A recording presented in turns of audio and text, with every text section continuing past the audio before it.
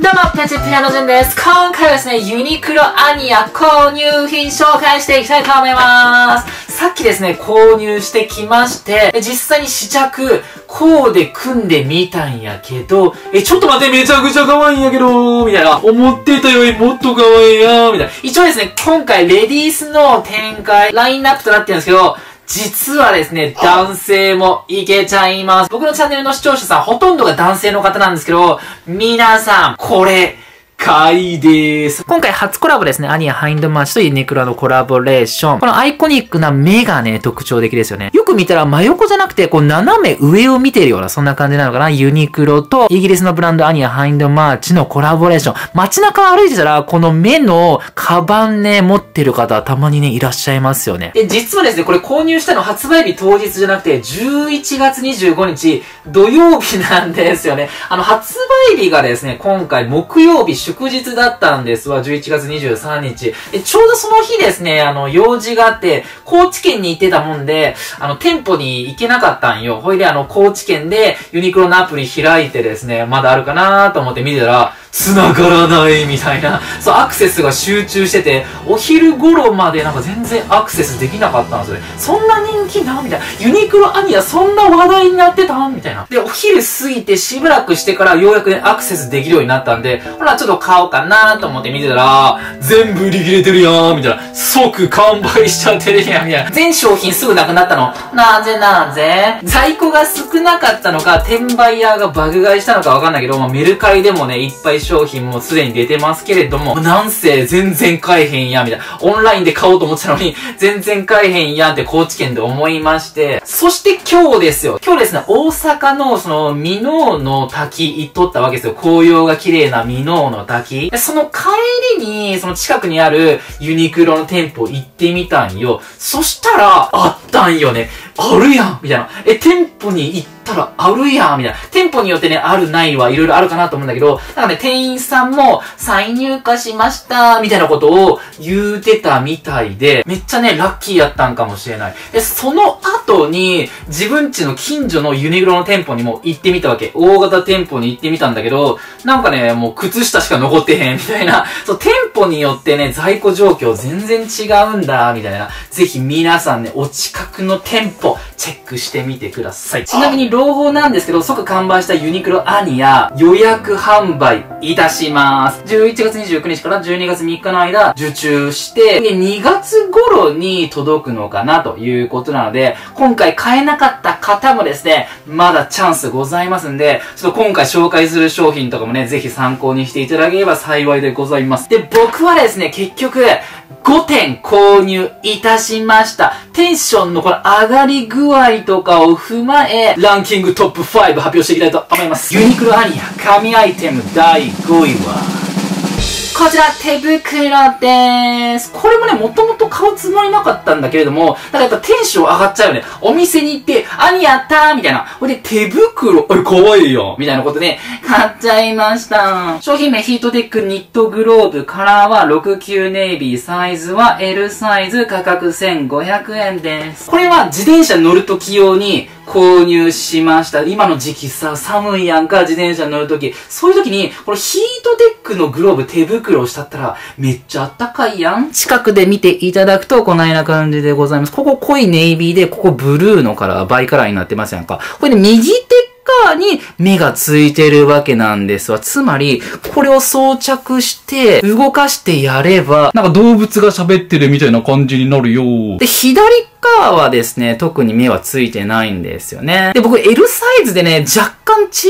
さいっちゃ小さい気はするよね。XL の方が良かったかなって感じ。本当はここの辺からリブ始まってほしいんだけど、ちょっとちっちゃいから、まあ、いっかー、みたいなことで買っちゃいました。ほんでめっちゃあったかいんだよね、ヒートテックいうことで。で、安い手袋とかだと、だからゴワゴワしちゃうみたいなことございますけれども、こちら、アクリル、ナイロン系、ポリウレタンいうことで、肌触りもすごくいいんよね。この名なんだけど、すごいね、刺繍になってる。裏側見てみると、こないな感じで、しっかり塗った感じっすね。なんかペタって貼り付けたワッペンとかじゃなくて、しっかりとした刺繍になってるわ。で、肌面もさ、すごく柔らかいんだよね。あったかいし最高。こちら特典付けさせていただくと、80点。ユニクロアニア神アイテム第4位は、こちら、靴下です。これもね、めちゃくちゃ可愛いんだわ。商品名、ヒートテックソックス、カラーは00ホワイト、サイズは男女兼用25から27、価格590円です。安いっすよね。お手頃で買えるの最高。こちらですね、近くで見ていただくと、こないな感じ。まあ、外側に、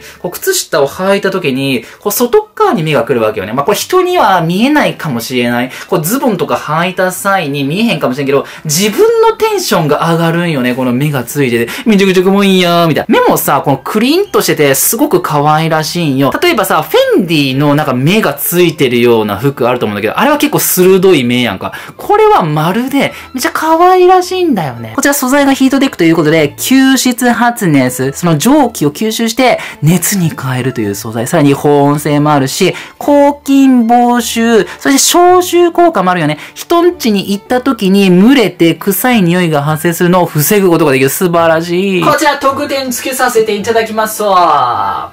88! ユニクロアニア神アイテム第3位は、こちら、ビーニーです。商品名ヒートテックニットビーニー、カラーは27オレンジ、価格1500円なんやけど、安い。ユニクロのインラインでも、あの、ビーニー売ってるんですけど、それと価格同じ。ほんで、形同じかなと思っとったんよ。ユニクロのインラインと形同じかなと思ってたんだけど、もっとね、言ってったりしているよね。これがね、めちゃくちゃ意外だった。キツキツじゃなくて、ゆったり被れるから、髪型崩れにくいよね。すごない？近くで見ていただくと、こないな感じですね。これもね、ヒートテックの素材であったかいんですよね。ここに目がございまして、ここになんかね、糸塗った感じ。ちょっと手作り感あって可愛いやんか。で、後ろ見ていただくと、こちらタグついております。アニヤ、ハインドマーチ、ユニクロ。なんか最初さ、このタグダサいんちゃうかなと思ってて、これ取ったろかなと思ってたんだけど、なんか試着してこうで組んでたら、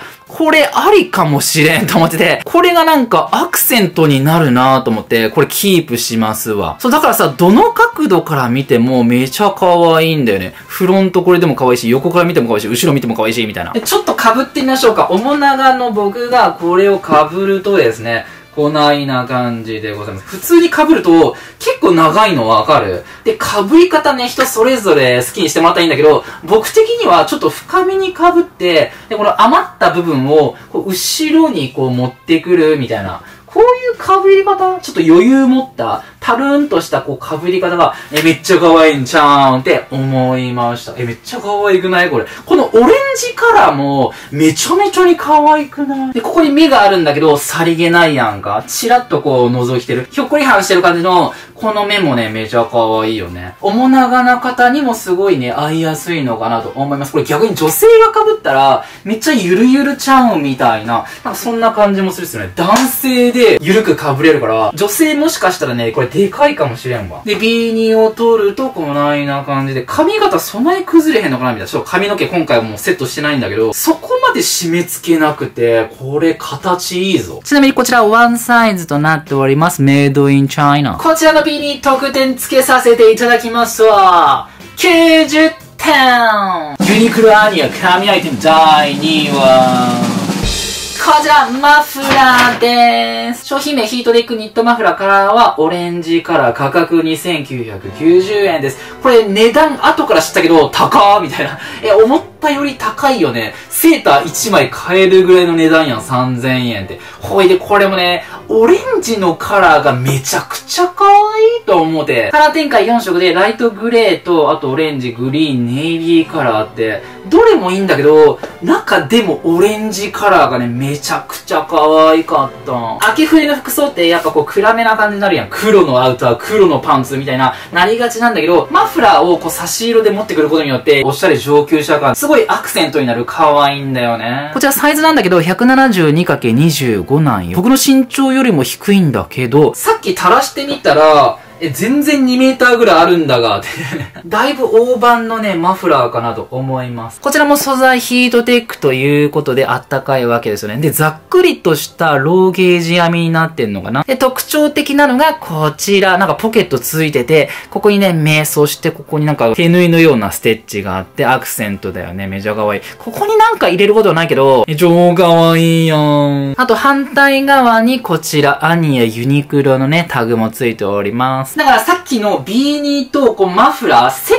トで着てもね、いいのかなと思うし、これ単体でも十分可愛いかなって思うっす。まあ、巻き方はね、人それぞれ好きにしてもらったらいいんだけど、もう一周ぐるっと巻いて出かけるでも全然ありだし、もう学生さんとかはさ、こんな感じで、もうギュッと適当に巻いてね、これで自転車乗るとかも全然ありやん。そんであったかいんよ、これ。で、おしゃれな巻き方したかったら、こう、ニューヨーク巻きみたいな、こう、ぐるんと回して、で、これをぐるんと持って、ってきて縛って出すと、この目がね、しっかり見えて、めちゃくちゃ可愛いやん。で、女性の方だったら、例えば会社で、もうこんな感じで、カーディガンみたいな感じで羽織るもよしだし、意外と用途あるなって思いました。これはね、女性だけじゃなくて、男性の方も似合う、めっちゃ可愛いオレンジだと思う。こちらのマフラー特典付けさせていただきますわ。93点ユニクロアニア神アイテム第1位は、こちら、グレーのニッタバです。ってことでですね、今回、2色購入いたしました。で、このね、オレンジもめっちゃ可愛いんやけど、やっぱ有彩色、カジュアルな印象になるんやんか。これはこれでね、めっちゃ使えるんだけど、このグレーがね、こうで組んでて、死ぬほど合わせやすいんすよね。やばい。無彩色の白、黒、グレーはこうで組みやすいやんか。これでこの、ライトグレーがめっちゃ可愛いんよ。顔写り良くなるっていうか、ダークグレーも渋くてかっこいいんだけど、このライトグレーがやっぱね、めっちゃちゃ良かった。形はね、まあ、さっきと同じなんだけれども、ここに目があって、でね、白のステッチなんよね。ライトグレーに対して白のステッチ。タグは先ほど同様ですやんか。ほいでね、さっき気づいたんだけど、これ被るとき、普通みんなね、こう被ると思うのよ。左側にこうタグが来た状態で、こう被るのが定番、普通の被り方かなと思うんだけど、これを反対向きにする。こっちを表にしたら、めちゃくちゃ可愛かった。一旦普通の被り方するよ。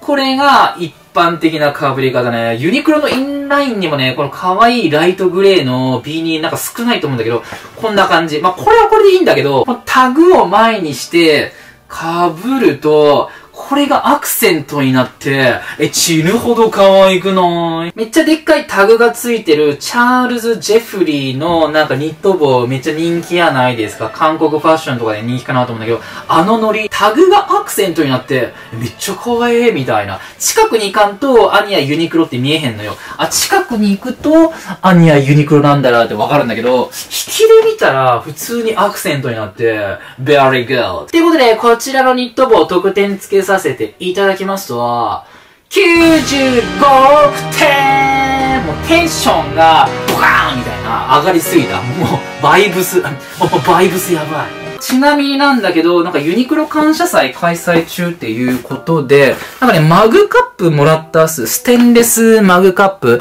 なんか39色あるみたい。サンキューとかけて39色ね、あるみたいなんだけど、何色なのかちょっと開けてみましょうか。マグカップ、ステンレスのやつ。多分、その温度を変わりにくいってやつかな。こちらでございます。じゃじゃーん。緑色？緑色のマグカップ、ユニクロのロゴ入りじゃん。これはいいっすね。ビールとか入れても良さそうだし、冷たいものを入れる感じかな、これ。はい、めちゃかわいい。ということで、この5つのアイテムを使って4個でいってみましょう。1コーデ目、同系色のコーデやってみました。オレンジのマフラーにオレンジのニットビーニー、そしてベージュのコートにベージュのパンツということで、オレンジに近い色で合わせてみたんだけど、これはこれでありよね。なんかおしゃれな感じするわ。で、ビーニーもさ、すごい余裕があって、頭にこうボリュームができて小顔効果抜群。で、マフラーもすごいね、ボリュームがあるんよ。大判のマフラーだから、これも小顔効果あり。で、このオレンジがめちゃくちゃ可愛いんだよね。秋っぽい感じ、紅葉を思わせる感じ、ウェイ。引きで見るとね、そこまで目とか、そのタグとかはね、主張ないのかな、さりげない感じかなと思います。マフラーの巻き方はもう自由なんだけど、さらっとね、一周巻くだけでも、おしゃれだし、あったかい。ほいでからニューヨーク巻き、みたいな感じで、しっかりと巻いて、んでこの目をね、見せるような、そんな巻き方もね、可愛いのかなと思います。で、さらに、バラクラバ巻きすると、こないな感じ、ちょっと人と違うかも、もうみたいな、しっかかりあったかい自転車乗るときこんなんもありかもしれないですよね。まあ、こんな感じでビーニーとマフラー色をね、同じにすると、すごい統一感が出て可愛いのかなと思います。これ全然男性もいけちゃうやつやん。通行でね、今度はですね、グレーのニットビーニー被っていました。そして靴下がですね、白のソックス。これチラッと裾を上げると、目が見えてめちゃくちゃ可愛い。全身グレーコーデの時とか、今年割とね、グレーがトレンドかなと思うんだけど、それグレーレコーデの時にビーニーもグレーにしちゃうみたいな。え、全身グレー超可愛いやん。で、被り方なんだけど、さっきみたいにタグを前にしてやると、これまた可愛いんだよね。もちろん目を前に持ってきてもいいんだけど、タグを前にする被り方もめちゃくちゃおすすめでございます。めっちゃグレー可愛いいよな。ほんとスコだわ。3コーデ目、今度はですね、手袋してみました。ネイビーカラーいうことなんだけど、結構こう、ブラックの感じで手袋できていい感じよね。